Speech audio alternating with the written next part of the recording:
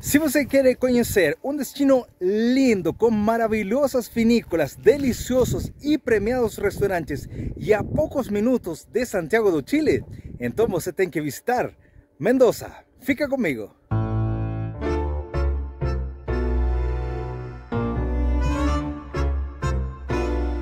Olá, eu sou Davi Gormaz do blog Like Chile e se você ainda não conhece a gente, saiba que este é o melhor canal de turismo para os brasileiros que visitam o Chile. Por aqui você vai encontrar dicas para todos os tipos de viajantes, tanto no blog, YouTube, Instagram e até no TikTok. Se você não quer perder nenhum de nossos conteúdos, se inscreve agora no nosso canal e ativa o sininho para ser o primeiro em receber as atualizações. Olá, like Chile amigos, tudo bem com vocês? Estou aqui no Aeroporto Internacional de Santiago, sabe onde? Aqui na JetSmart, porque daqui a pouco a gente vai pegar um voo inaugural para a nova ruta de JetSmart Santiago, Mendoza, Mendoza, Santiago. E para você que está planejando uma viagem para Santiago do Chile, mas quer dar um pulinho extra, aí cruzando a cordilheira para Mendoza, eu quero te contar se é uma boa experiência e o que você tem que fazer para completá-la. Tradicionalmente, os Like Chile amigos alugavam um carro em Santiago para dar um pulinho para Mendoza, cruzando a Cordilheira dos Andes. Mesmo que o caminho é de tirar o fôlego por sua beleza, muitas vezes por condições climáticas, como a neve ou chuva, o caminho fica interditado, às vezes por vários dias. E na temporada alta pode pegar longas filas na aduana, o que atrapalha bastante a viagem. A JetSmart, uma companhia low cost, acabou de lançar uma nova rota Santiago-Mendoza, que em tão só 35 minutos de voo, você já consegue chegar no destino. É muito engraçado, já que o piloto dá as boas-vindas e aos poucos minutos já está falando que estamos pousando no aeroporto. O aeroporto de Mendoza é bem pequeno, o que facilita a saída com bastante rapidez, e o bom que em poucos minutos já consigue chegar no centro da cidade. E depois de 35 minutos de voo, chegamos em Mendoza. E vou te falar, tá quente, 34 graus. E já estamos de noite, olha só. Mas que parece? Noite promete. E não estava errado não. A noite prometia. E muito. Fomos conhecer o renomado Francesco Restaurante. E como você já pode ir imaginando, a especialidade da casa é a comida italiana. Com mais de 70 anos de tradição, a família Barbera tem conseguido deleitar os mais finos paladares. Prova disso têm sido suas visitas ilustres, como Brad Pitt e Gwyneth Paltrow. Fomos super bem recebidos pela Beatriz, que está no comando do restaurante, e junto com a mão esperta de sua mãe, Maria Teresa, tem conseguido fazer uma mistura perfeita entre a tradição italiana com os produtos e temperos de Mendoza. A atenção da equipe foi impecável e carinhosa, preocupada sempre dos mínimos detalhes. Além deliciosa comida, visitamos a cava, onde estão guardados os tesouros, vinhos com mais de 20 anos de guarda, que por suas características bem podem ultrapassar vários milhares de reais. Depois desta linda velada, foi momento de aproveitar nosso hotel. Existem diversas alternativas de hospedagens, que vão desde hotéis internacionais 5 estrelas até hostels. Nós ficamos no Walta Hotel Mendoza Curio Collection by Hilton, o primeiro hotel adega do continente. Localizado no centro da cidade, permite percorrer os arredores facilmente. Conta com um completo café da manhã, modernos quartos e a possibilidade de fazer degustações na adega do hotel.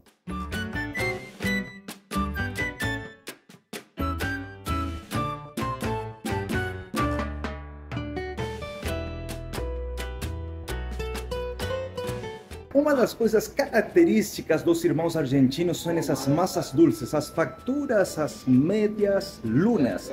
Se você vem para a Argentina, com certeza vai querer experimentar, porque são assim. Uma delícia. Você vai se apaixonar.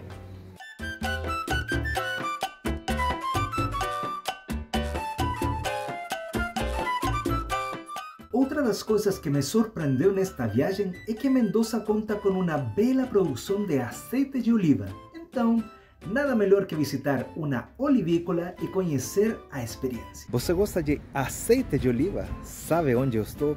Estou na principal, na número 1 um, olivícola no mundo e você vai conhecer comigo.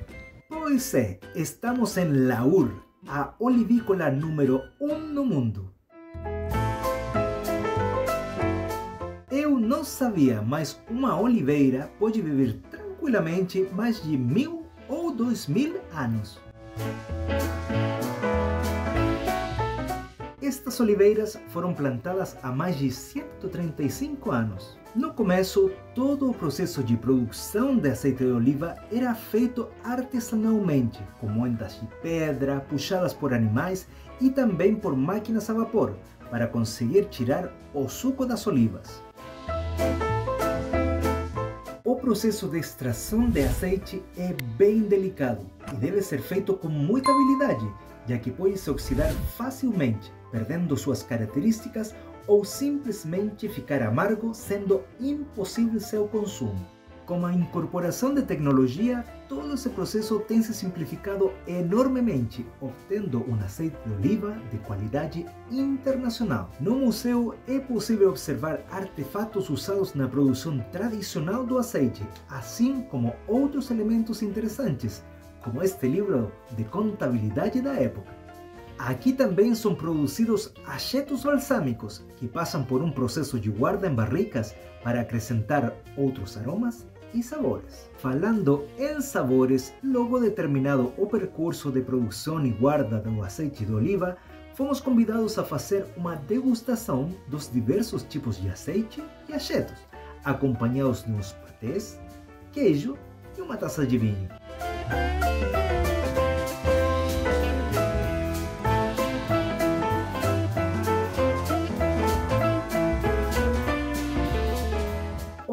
De almoço e, como sempre, é uma ótima opção aproveitar os restaurantes das vinícolas, mas não qualquer restaurante. Visitamos os Cinco Suelos, Cocina de Finca. O nome já dá para entender o conceito do restaurante que resgata os sabores dos cinco tipos de solos e mistura de acordo à época do ano com legumes, hortaliças e a clássica comida típica argentina, como carnes, empanadas e sobremesas acompanhadas de doce de leite. A chef Patrícia nos conta o grande segredo, que foi perguntar aos donos o que comiam de criança, quais eram os sabores e temperos e desde aí chegar a uma apresentação refinada, cheia de deliciosas preparações que foi premiada com uma estrela Michelin. O restaurante fica na vinícola Duriguchi, Family Winemakers, onde nos encontramos com os irmãos Héctor e Pablo, os donos da vinícola.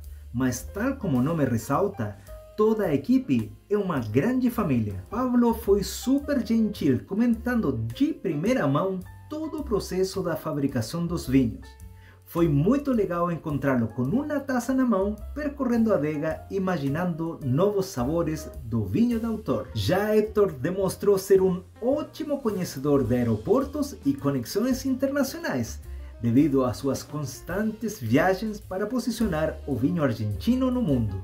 Uma ótima alternativa é visitar a planta de produção, onde conhecemos mais sobre os vinhos, como são armazenados e deixar para depois um momento de tranquilidade para visitar sua linda lagoa e barreiras e se maravilhar com as imagens da vinícola.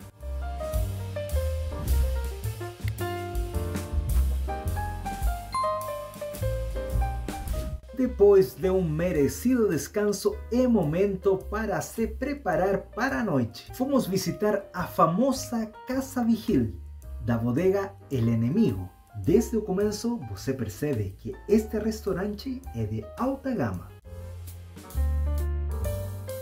Escolhemos o menu de 10 passos, que inclui 10 degustações de vinho e 10 petiscos, que são apresentados pelo garçom, como também pelos sommeliers. A gente está experimentando um menu de 10 passos.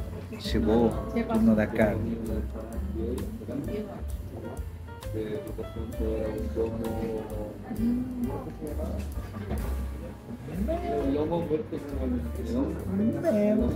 Eu indico o menu de 10 passos para quem é um apreciador de vinhos, já que existem outras alternativas com menos passos e menos vinhos. É importante fazer a reserva com antecedência, já que o restaurante é muito concorrido e tem bem merecida sua estrela Michelin. Uma das características da nova tendência dos vinhos em Mendoza é resgatar características próprias da região, como os diversos tipos de solo, tentando que a guarda em barricas seja a menor possível, para assim aparecer as características próprias e não estar muito influenciadas pela madeira, o que sem dúvida muda e bastante o sabor e os aromas do vinho. Um exemplo ainda mais profundo é a produção de vinhos orgânicos, que tentam aproveitar todos os elementos da natureza para fazer vinhos mais naturais, respeitando ao máximo o meio ambiente. Foi assim que visitamos a vinícola Alpamanta, que desde o começo surpreende com uma arquitetura imersiva. Simplesmente a arquitetura daqui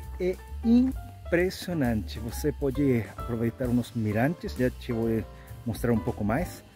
Mas é lindo, é lindo, a arquitetura está super bem feita, é uma arquitetura biodinâmica, ou seja, aproveita toda a energia do sol e não só isso a paisagem que tem aqui, você vai amar. Alpamanta significa amor pela terra. Começamos com uma degustação de frios e também de vinhos, apoiados neste curioso artefato. Olha só que coisa maneira esse artefato que eles estão nos passando. Vou te mostrar como que funciona, tá? Ai, que legal, tá vendo? Aí você consegue pôr sua taça e aí você vai me perguntar, para que que é isso?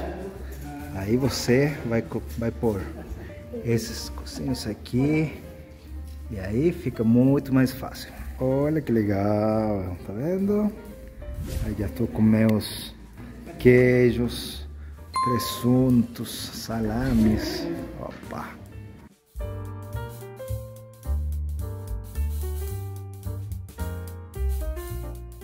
A grande mesa central é um bumerangue como analogia de que tudo que vai, volta. Os donos deixaram uma cápsula do tempo bem no meio da construção, como um presente para as gerações futuras, que será aberta em 2072, 50 anos depois de enterrá-la. O que será que ela esconde? Se você tem um palpite, me deixa nos comentários. O almoço deixamos para encerrar com chave de ouro na vinícola Wentala Wines. Acabamos de chegar aqui em Wentala Wines. Olha só, fomos recebidos com um José. E o visual tá lindíssimo. Você vai gostar desta vinícola. Vale muito a pena o caminho. E olha só, as parreiras estão verdinhas com os cachos bem recheados. Então vamos conhecer um pouco mais da história desta vinícola.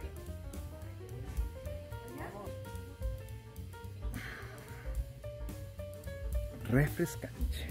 Mas antes de almoçar, percorremos a adega e suas modernas instalações. Uma ótima oportunidade de conhecer em profundidade os vinhos deles é participar de uma degustação das diversas cepas do vinho, e falando a verdade, mais que uma degustação, foi uma aula para apreciar corretamente os vinhos.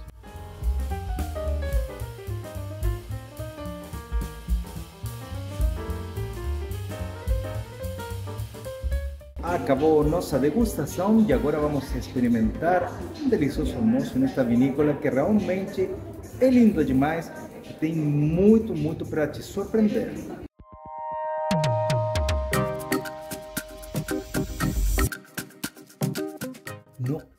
Restaurante, fomos recebidos por uma equipe de garçons e sommeliers que nos explicaram cada um dos pratos. Eles têm uma interessante proposta de menu, onde você pode escolher à vontade entre entrada, prato principal e sobremesa. Eu escolhi uma entrada, dois pratos principais e uma sobremesa.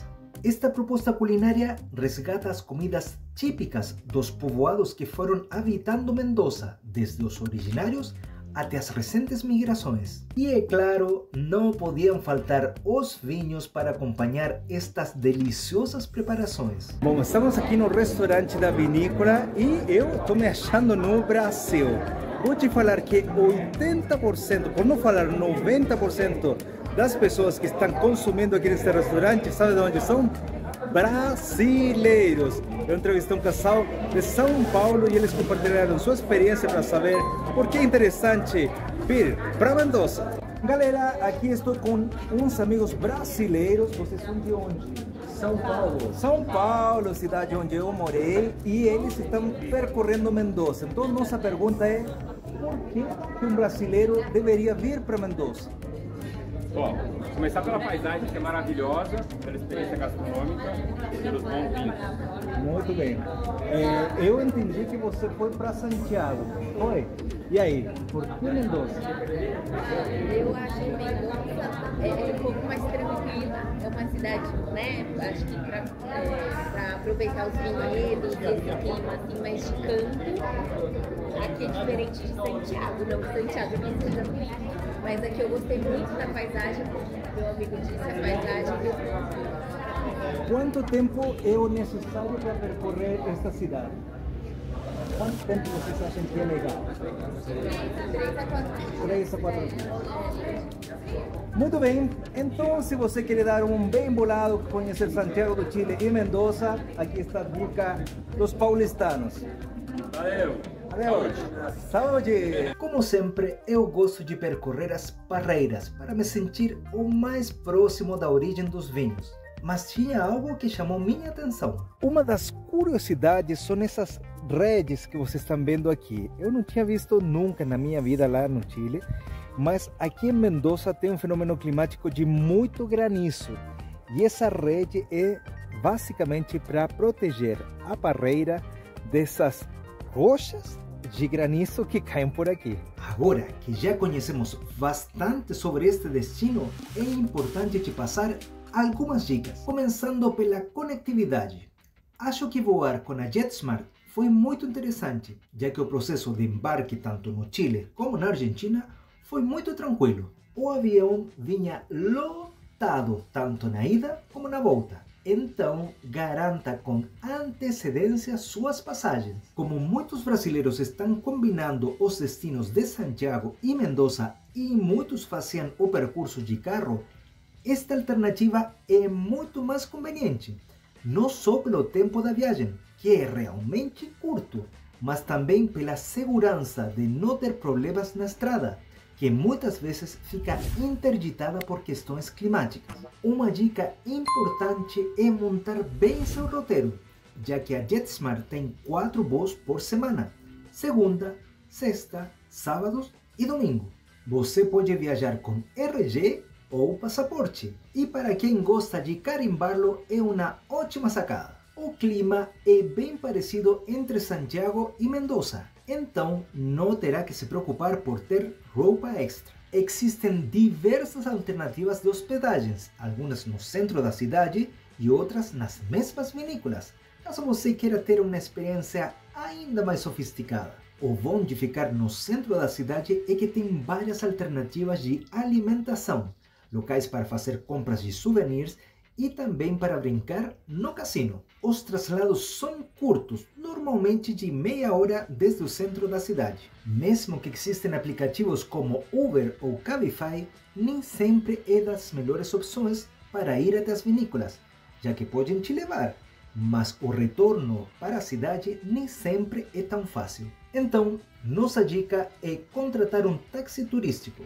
que vai sair mais caro, mas você fica tranquilo que a ida e a volta estarão garantidas. Também é possível contratar alguns tours onde, além de poupar no traslado, você também consegue que a programação e a reserva, tanto nas vinícolas como nos restaurantes, seja bem mais tranquila. Se você está indo de forma independente, alugando um carro, deve lembrar que na Argentina também é proibido dirigir se você bebeu álcool. Eu fui testemunha que existem blitz na estrada, então, não se arrisque em vão. tanto nos restaurantes como em algumas degustações é normal deixar gorjeta de 10%, mas o único problema é que ela deve ser paga com dinheiro. Não aceitam incluir gorjeta no cartão de crédito. É bem provável que você vai querer comprar vinhos ou azeite de oliva. Eu acho uma excelente ideia, mas lembre que existe um limite de garrafas que pode trazer para o Chile. E se está só com bagagem de mão, para trazer na cabine do avião não há problema. Mas é importante que elas venham bem embrulhadas para evitar qualquer tipo de inconveniente. Uma das maiores dúvidas é respeito a qual tipo de moeda levar. Bom, até o ano 2023, muitos escolhiam se fazer uma transferência na Western Union e depois retirar o dinheiro na Argentina. Nesta viagem, fomos orientados a fazer o pagamento com cartão de crédito ou Waze e trazer dólares que são bem aceitos. O dólar blue ou dólar turismo já está com um valor bem similar com o valor do dólar oficial, então não tem tantas vantagens como antes. O Like Chile viajou pelo convite da JetSmart e M-Tour, Ente Mendoza Turismo e a AppTour, Associação de Periodistas e Comunicadores de Turismo do Chile. E bom amigos, desde Mendoza estamos encerrando mais um capítulo de Like Chile Tour Experience. Lembre-se que todas as informações aqui na caixa de comentários. Acompanhe nossos vídeos, inscreva-se no nosso canal. Será até uma próxima. Tchau, tchau.